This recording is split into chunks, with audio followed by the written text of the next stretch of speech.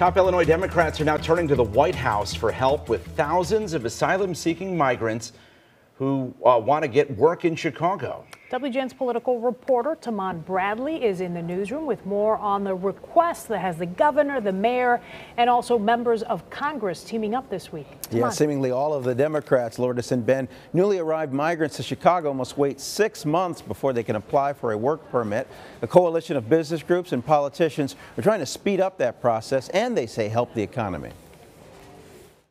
For local Democrats, it's a partial solution to the migrant crisis. Expand work authorizations to newly arrived immigrants. We have the jobs, we have the people. We just need authorization from Washington. These immigrants are ready to step in and take the hardest, dirtiest, roughest jobs imaginable because they always have. The city of Chicago cannot go on welcoming new arrivals safely and capably without significant support and immigration policy changes. Without work authorization permits, migrants face risk of exploitation, wage theft, and abuse. Every day I hear from constituents who have made their life in the U.S., who have worked, who have played by the rules, but they don't have peace of mind when they go to work. The Chicagoland Chamber of Commerce, as well as restaurant and manufacturing associations, have joined the call for faster work permits. As small businesses, we stand ready to help.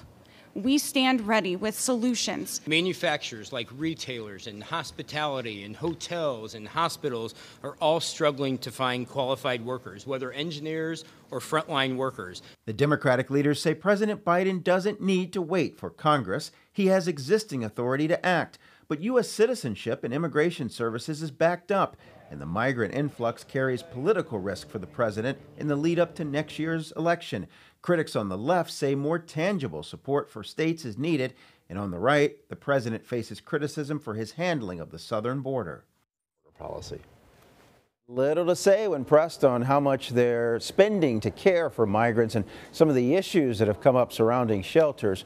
We reached out this afternoon to the White House for comment, and we've not heard back. Live in the newsroom, Tahman Bradley, WGN News.